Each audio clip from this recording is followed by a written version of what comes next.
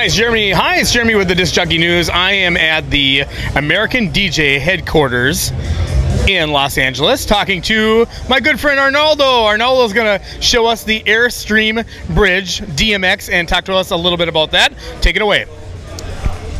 All right, guys, you have no idea how excited I'm about this product. So here's what it is in a nutshell. We've got a WiFLY EXR transmitter and a regular 2.4 gigahertz internet or router, or you know, regular router, not internet, but Wi-Fi router in there. Now what this does is this connects to the Airstream DMX app.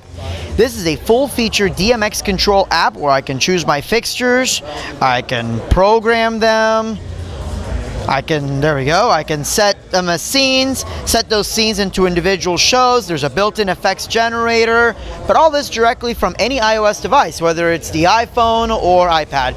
Now, before you ask if there's an Android version, it takes a long time to program this, and this just didn't come out of nowhere. This, well, it kind of did. This was programmed pretty much from scratch from the same guy that did the show designer. So we're really focused on making a smooth, very uh, polished app, one that doesn't crash, and that will work for any kind of event that you're doing.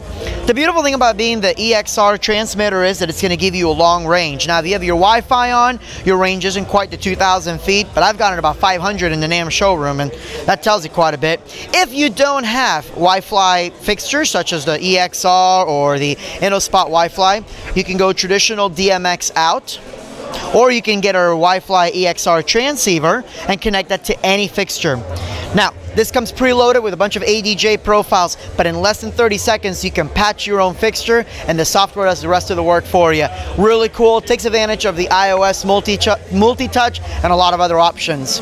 Information online, All right, so there's two places you can go. Of course, adj.com, but we have a Facebook group, so just search uh, Airstream DMX discussion group. You'll be able to not only get some information on it, you can talk to other people, share different ideas, but the development team support, everybody's there, giving you all the latest features and updates on the Airstream DMX app and Airstream Bridge.